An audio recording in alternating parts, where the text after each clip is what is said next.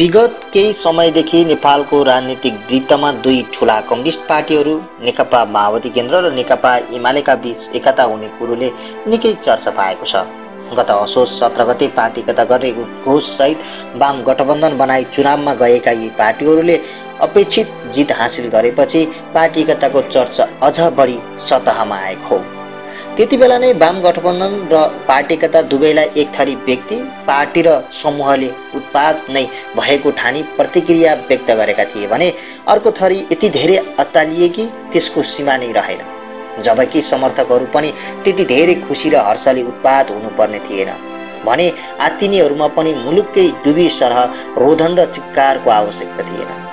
किनकि दुई पार्टीहरू मिले पनि उही व्यक्ति उही चरित्र उही प्रवृत्ति उही कार्यशैली र उही पुरानी सोच दृष्टिकोणसहित जस्ताको तस्तै एकतामा प्रवेश गर्ने हुनाले मातिने र आतिने कुनै कारण थिएन।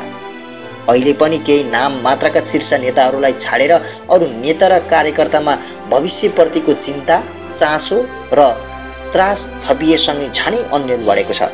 उनीहरू न त एकताको विरुद्ध बोल्न लेख्न वा विद्रोह गर्न सक्छन् न त एकताकै पक्षमा दृढतापूर्वक उभिएर ओकालात नै गर्न सक्छन्।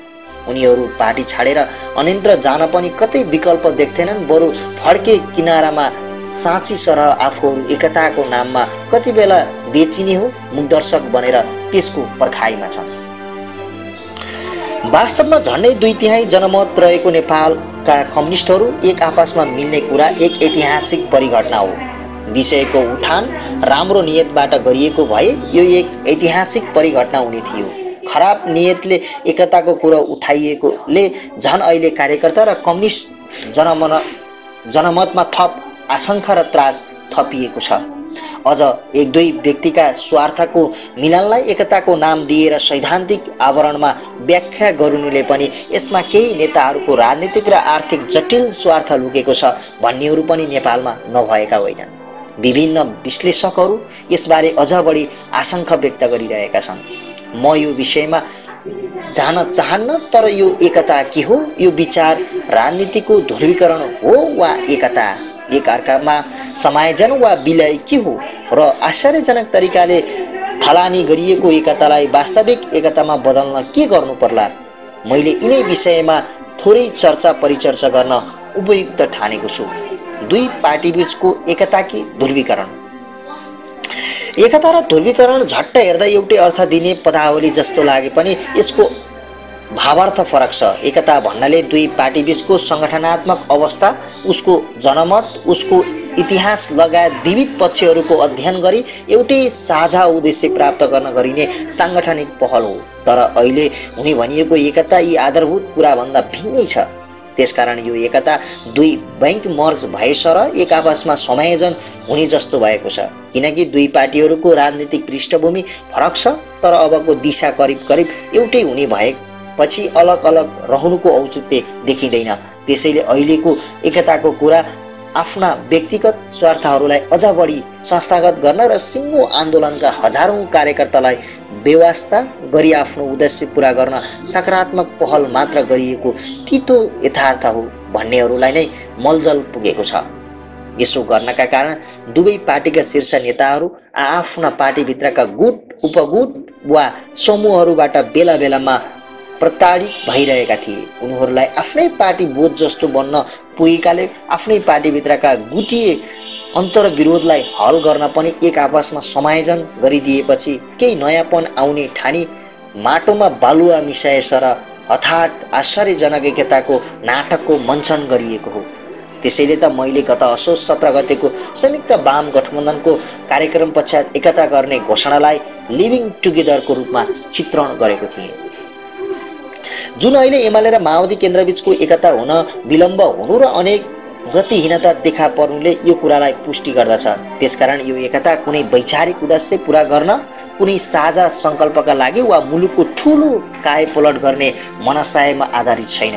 बरु यो आफ्नो स्वार्थको आरक्षणको ग्यारेन्टी र सुखद बहिर्गमनको पूर्व तयारीका कुरामा कोही पनि सहमत छैनन् तर आफ्ना मात्रै राजनीतिक कानुनी र अन्य विविध कुराहरूलाई मात्रै पूर्ण ग्यारेन्टी खोज्ने र अरू विचार र राजनीतिको एकता निश्चित व्यक्तिहरूका मूल झोलाइका साधन मात्रै हुन् भन्नेहरूलाई नेतृत्वले कसरी जवाफ दिन्छ? त्यो त एकतापछि हुने सङ्गठनात्मक समायोजनको खाकापछि मात्रै प्रष्ट हुनेछ। तर त्यस प्रकारको वैज्ञानिक खाका बन्ने कुराको कुनै सुखद सङ्केत देखा पर्न सकेको छैन। आजको एकताको आवश्यकतालाई स्वार्थ अनुरूप प्रयोग गर्न र मिथ्यापनमा आधारित गैर वैचारिक ध्रुवीकरणको साधन बनाउनु हुँदैन। ध्रुवीकरणमा त एउटा खास विचार र कार्यदिशामा समर्थन जनाएर त्यसको विकास रक्षा र प्रयोगको लागि गरिन्छ। त्यसकारण ध्रुवीकरणले विचारको माग गर्छ भने एकताले सङ्गठनको माग गर्छ। ध्रुवीकरण भइदिएको भए यति धेरै किचलो गर्नुपर्ने थिएन। एकताका लागि या त बहुदलीय जनवादलाई कार्यदिशा बनाइन्थ्यो या त एक्काइसौँ शताब्दीको जनवादलाई साझा कार्यदिशा बनाएर अघि बढ्न सकिन्थ्यो। त्यो बेला यो कार्यदिशा लागू गर्ने खालको सङ्गठन विधि र नेतृत्वको छनौट हुन्थ्यो। यो प्रक्रियामा विचार पहिलो र सङ्गठन दोस्रो पक्ष हुने थियो। तर अहिले सङ्गठन पहिलो र विचारको प्रश्न झिनो स्वरमा मात्र व्यक्त भएको छ। यहाँ अझ जनताको बहुदलीय जनवादलाई बहुदलीय शब्द हटाएर जनताको जनवाद पदावली राख्ने भित्रभित्री सहमति भयो भने पनि अनौठो मान्नुपर्ने छैन। यी सबै परिघटनाहरूले यो एकता आवश्यकताको केन्द्रीकरण नभई स्वार्थको केन्द्रीकरण मान्नै बन्न पुगेको यथार्थलाई जाहेर गरेको छ। हुन त शब्द जे राखे पनि जाने संसदीय व्यवस्थामा नै हो। शब्दले खासै फरक पार्दैन। संसदीय व्यवस्था पुँजीवादीको अभिन्न अङ्ग हो। त्यसैले हामी पुँजीवादको राजनीतिक क्रान्ति सम्पन्न भयो भनेका छौँ र अब आर्थिक क्रान्तिको खाका कोर्न एकताको पहल गरेका छौँ। भन्ने नेतृत्वको भनाइलाई विश्वास गर्न कति पनि आधार छैन। यसकारण पनि अहिले हुने भनिएका पार्टी एकता वास्तविक एकता वा ध्रुवीकरण जे नाम दिए पनि यो एक आपसमा मर्च हुने प्रक्रिया मात्र हो। ज्ञात रहोस् ठुलो चुम्बकका अगाडि सानो चुम्बक समायोजन भई विलय हुन सक्दैन। बरु एउटा किनारामा टाँसिरहन्छ यो कुरा अहिलेको बाचिकतालाई पनि लागू हुन्छ। बराबरी र सम्मानजनक हैसियत सही प्रकारको सङ्गठनात्मक कार्यविधि पार्टी सञ्चालनमा वैज्ञानिक आधारहरूबाट प्राप्त हुनेछ। तर नेपालका कम्युनिस्ट पार्टीहरूमा नेतृत्वको अति केन्द्रीकरणका कारणले यो सम्भव छैन। यहाँ त सङ्गठनात्मक विधि मूल्य मान्यता र आदर्श सबै ओझेलमा परेका छन्। त्यसकारण यो एकताले यो गुमेको कम्युनिस्ट आदर्श सही सङ्गठनात्मक विधि मूल्य र मान्यता स्थापित गर्न सक्छ। नेतृत्वका अगाडि गम्भीर प्रश्न खडा भएको छ। अहिलेको हाम्रो पार्टी र सङ्गठनात्मक शैली। अहिले हाम्रा पार्टीहरू निश्चित मान्यतामा चल्न सकेका छैनन्। गुट उपगुट नामका इन्जिनहरू र नेतृत्वको निरङ्कुश निर्देशनहरू पार्टी सञ्चालनका मूलभूत मान्यताहरू हुन्। पार्टीहरू एक प्रकारले निजी कम्पनी जस्ता बनेका छन् जहाँ विभिन्न तह पदहरू र मजदुरहरू कार्यरत छन्। पार्टी नेतृत्वका निजी सचिवालयहरू पारिवारिक जहानिया शासनका रूपमा आधारित भएर चलेका छन्। एउटा इमान्दार नेता कार्यकर्ताले नेतृत्वलाई सहजै भेट्न सक्दैन न त नेतृत्वको दुःख पीडामा सँगै बसेर रुन सक्छ न त खुसीमा हर्ष साटासाट नै गर्न सक्छ। ऊ नेतृत्वकै पक्षमा काम गरे पनि आफूले काम गरेको कुरा नेतृत्वसँग पुर्याउन पनि त्यही सचिवालय बर्लिनको पर्खाल सर उभिन्छ र सचिवालयका जिम्मेवार व्यक्तिहरू रामको हनुमान हुनुभन्दा पनि हनुमानको पनि हनुमान बनेर प्रस्तुत हुने गरेका छन्। कम्युनिस्ट आदर्श र सदाचार विपरीत ठुल्ठुला आन्दोलन र परिवर्तनका बाहक हजारौँ कार्यकर्ताहरू कसैका निजी कम्पनीका दास जस्ता बन्न पुगेका छन्। यहाँ नेता कार्यकर्ताको अघोषित वर्गीकरण गरिएको छ। वास्तविक सम्पत्तिको हकदार या अंशियार खेतमा पार्टीमा काम गर्ने मोहीहरू र ज्यालाका लागि काम गर्ने ज्यालादारी कार्यकर्ता नेता गरी तीन भागमा भाँडिएका बाँडिएका छन्। पहिलोले जे गरे पनि अंश पाउँछ र तेस्रो पनि ज्यालाका लागि काम गरेकोले पार्टीमा तुरुन्तै ठुलो अवसर पाउँछ भने दोस्रो मोहीले भने मालिक खुसी भएको दिन पर्खेर बस्नुपर्ने बाध्यता छ। यी कुराहरू हाम्रा पार्टीहरूमा विडम्बनाइ हुन्। आफ्नो स्वार्थ पुरा हुने भएपछि एउटा गैर कम्युनिस्ट पनि राति प्रवेश गरेको रहेछ भने पनि बिहान ऊ पार्टीको उच्च तहमा सिधै पुग्छ। किनकि आजभोलि पार्टी सरकार र सदनका कतिपय सिटहरू किनबेचको लागि आरक्षित गरी बुकिङ खुला गरिएको हुन्छ अरे मलाई थाहा छैन यो सत्य वा असत्य के हो? तर जे होस् यो हाम्रो प्रविधिको पराकाष्ठ नै मान्नुपर्छ। यसकारण मुलुकको समृद्धि स्थायित्व र प्रगतिका लागि एकता र गर्न खोजिएको हो भने उपरोक्त प्रकृति व्यथितिको अन्त्य गर्न पर्छ। यहाँ त विकृति र विसङ्गतिकै नेतृत्व गर्नेहरू पार्टी एकताका सूत्रधार हौ भन्दै बल्लो घरको पल्लो घर र पल्लो घरको ओल्लो घर चाहर्ने लरको लागिरहेको स्पष्टै देखिन्छ। यसले पनि यो सच्चा एकता हो भन्ने कुरामा जनमानसमा ठुलै भ्रम परेको छ। आफ्नो भ्रष्ट आचरण शैली र बदलिने बदनियतलाई पार्टी एकताको नाममा सौदाबाजी गर्नेहरूले हरकत देखेर पनि नेताप्रति आक्रोश र घृणा पैदा भइरहेको छ। यसलाई सच्याउनुपर्छ। आज यिनै भ्रष्टहरूले शैली पछ्याउँदै कतिपय कम्युनिस्ट कार्यकर्ता पुलिसको खोरदेखि सुँगुरको खोरसम्म र श्रमका लागि जीवन जिउन साउदीको मरुभूमिसम्म पुगेका छन्। के यसबारे नेतृत्व गम्भीर छ? एकता प्रक्रियामा यस कुराको जवाब खोजिनुपर्छ।